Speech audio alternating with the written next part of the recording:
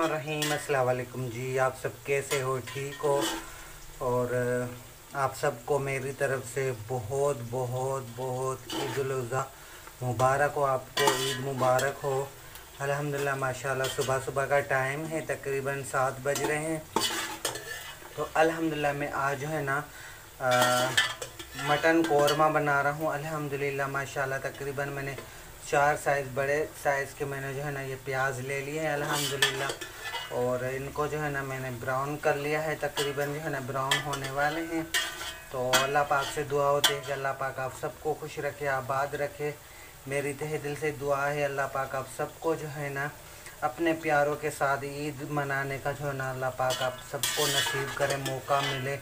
आमीन सुम आमीन। अल्लाह पाक आप सबके जो है ना कुर्बानी को जो है ना अपनी बारगाह में कबूल फरमाए, आमीन सुम आमीन। और जिस जिस का जो है ना, अल्लाह पाक ने जो है ना हज नसीब किया है इस साल तो अल्लाह पाक आप सबका जो है ना, हज कबूल करे अपनी बारगाह में, आमीन सुम आमीन। तो और साथ साथ मुझे भी दुआ में शामिल कीजिएगा। अल्हम्दुलिल्लाह, बहुत ही मौसम बहुत ही अच्छा है। खुशगवार मौसम है। अल्हम्दुलिल्लाह, बादल छाए हुए आसमान में। और आज ईद का दिन है, बादल हैं हमारे सिटी में तो अल्हम्दुलिल्लाह, माशाल्लाह, और ये प्याज जो है ना मैंने जो है ना इनको ब्राउन कर रहा हूँ, अल्हम्दुलिल्लाह। और इसमें जो है ना ये खड़े मसाले मैं इसमें शामिल करूँगा। ये एक बड़ी इलायची है, टुकड़ा, और लौंग है, और सॉरी, काली मिर्च है, लौंग है और बड़ी इलायची है, मैं इसमें साबिती मसाला ऐड करूँगा। इसकी खुशबू जो है ना, बहुत अच्छी आती है। अल्हम्दुलिल्लाह, आप लोग भी अपने घर में ट्राई कीजिएगा। अल्हम्दुलिल्लाह, ये जो है ना, खड़े मसाले डालोगे तो इसमें से खुशबू बहुत ज़्यादा अच्छी आएगी। अल्हम्दुलिल्लाह। तो जी, ये जो है ना, ब्राउन होने वाला है तकरीबन इसको ब्राउन करेंगे, फिर आप लोगों के साथ मिलते हैं। और तकरीबन ये जो है ना मटन है, मैंने तकरीबन डेढ़ किलो के जो है ना से भी ज़्यादा मैंने जो है ना ये मटन लिया है। तो बहुत अच्छा है और बहुत बोटियाँ भी बहुत अच्छी और जो है ना मोटी मोटी है, अल्हम्दुलिल्लाह। अल्हम्दुलिल्लाह मेरा प्याज जो है ना वो ब्राउन हो गया है। तो अभी इसमें जो है ना ये सारा जो है ना मटन इसमें शामिल करेंगे।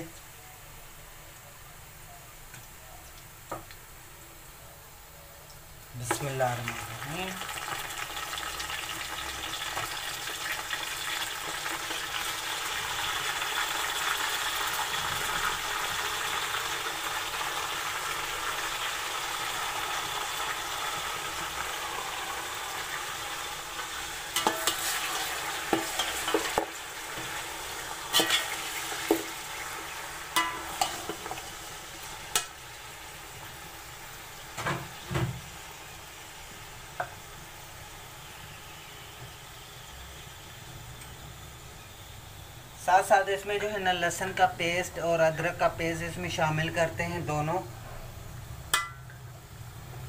तकरीबन डेढ़ टीस्पून के करीब मैंने इसमें शामिल किया है। लहसन, अदरक का पेस्ट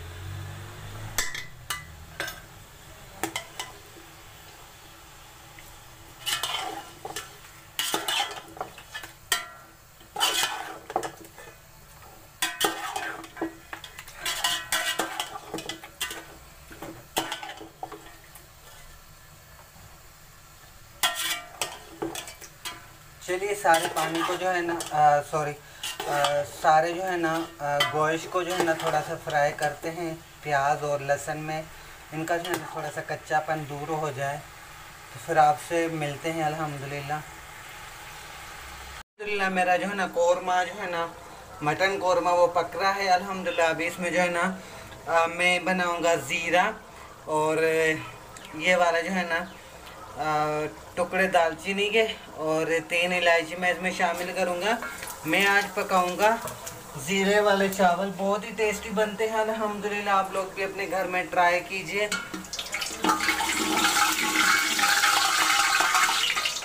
तो अल्हम्दुलिल्लाह, आप लोग देख सकते हो, यहाँ पे मेरा कौरमा जो है ना, वो रेडी हो रहा है। और साथ साथ में जो है ना, ये धुआँ आ रहा है। तो मैंने इसमें पानी भी ऐड कर दिया था।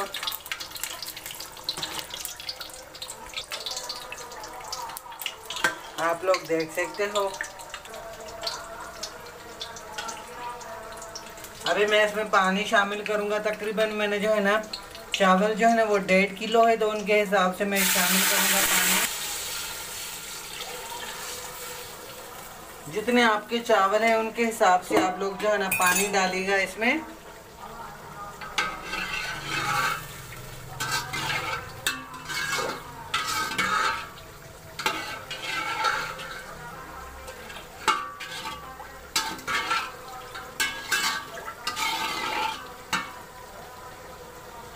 ज़ीरे वाले चावल बहुत ही टेस्टी बनते हैं। अल्हम्दुलिल्लाह, आप लोग भी जो है ना, ईद पे जो है ना, ये ज़ीरे वाले चावल बहुत अच्छे बनते हैं। दालचीनी वाले और इलायची वाले। ऑयल मैंने तकरीबन हाफ़ जो है ना, मैंने कप लिया था। तो मैंने इसमें शामिल कर दिया, पानी भी शामिल कर दिया। एक रहता है नमक। तो मैं इसमें जो है ना, नमक थोड़ी देर बाद डालूँगा। चावल के बाद जो है ना, मैं इसमें शामिल करूँगा नमक। अभी मैं इसमें शामिल नहीं करूँगा। अब इसको बॉयल आ जाएगा, फिर इसमें मैं चावल ऐड करूँगा। अभी मैं इसमें शामिल करूँगा ये बी। ये इसमें जो है ना, ये कौरमे में बहुत ही अच्छे लगते हैं, अल्हम्दुलिल्लाह। आप लोग भी अपने घर में ट्राई कीजिए। ये बहुत ही इसमें जो है ना, ये हम जो है ना, बहुत शौक से खाते हैं। आप लोग देख सकते हो यहाँ पे, अल्हम्दुलिल्लाह। तो अभी मैं इसमें थोड़े से टमाटर डाल के फिर इसको थोड़े से मसाले डाल के, इसको पानी डाल के मैं इसको जो है ना शोरबे जैसा बनाऊँगा, अल्हम्दुलिल्लाह। बाकी इसमें टमाटर रहते हैं तो टमाटर भी इसमें शामिल करूँगा। अभी मैं इसमें टमाटर डालूँगा, तकरीबन मैंने टमाटर इसमें शामिल किए हैं। तीन बड़ी साइज़ के मैंने इसमें टमाटर शामिल कर दिए हैं, अल्हम्दुलिल्लाह। अब इसमें मसाला डाल के थोड़ा सा इनको भून लूँगा, फिर उनके बाद जो है ना इसको पानी डाल के फिर इसका शोरबा बना लूँगा। अभी थोड़े से मसाले इसमें शामिल करूँगा। शामिल करूँगा कौरमा मसाला, और ये आचारी गोश्त मसाला है, और ये कौरमा मसाला है, ये भी गोश्त का मसाला है तो मैं इसमें शामिल करूँगा। अभी इसमें पानी डाल के तकरीबन लीटर मैंने पानी इसमें डालकर इसको जो है ना मैंने इसको फुल आँच पे रख देना है, क्योंकि ये जो है ना, सारी चीज़ें गल जाएँ तो इनके बाद जो है ना तो मैंने इसमें आलू डालने हैं। फिर थोड़े से आलू डाल के फिर इसको पकाना है, अल्हम्दुलिल्लाह। तो चलिए, इनको जो है ना, पानी डाल के एक लीटर में इसमें पानी शामिल करूँगा। उनके बाद आलू डाल के इसको जो है ना, दम पे रख के पकाऊँगा।